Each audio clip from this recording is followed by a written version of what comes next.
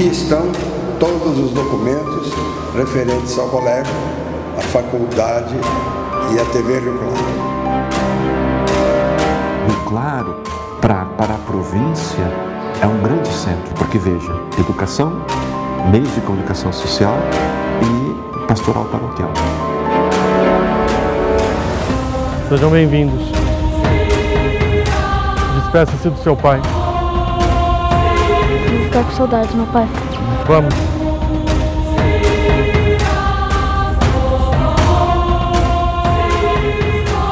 Aqui nesta área, vamos construir todo o seminário Claré. 29 de maio, às 21 horas, na TV Claré.